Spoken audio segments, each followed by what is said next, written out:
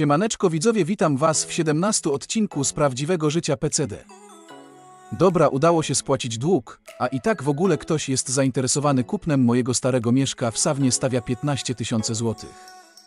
I się zastanawiam, czy zaakceptować. To później jadę teraz do Dino na zakupy.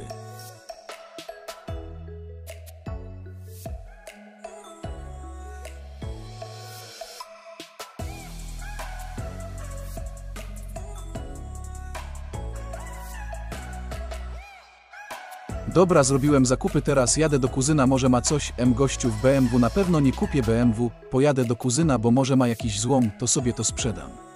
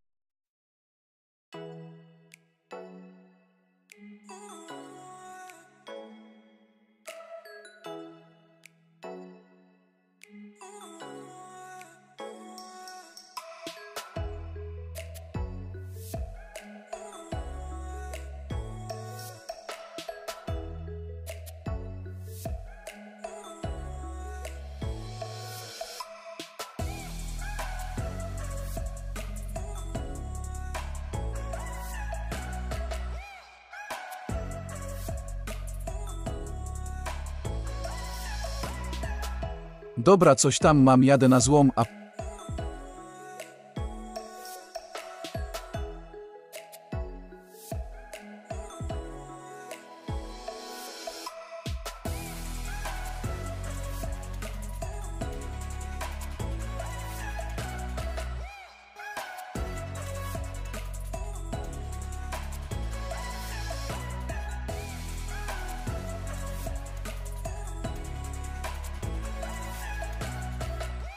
Zarobiłem 2800 zł.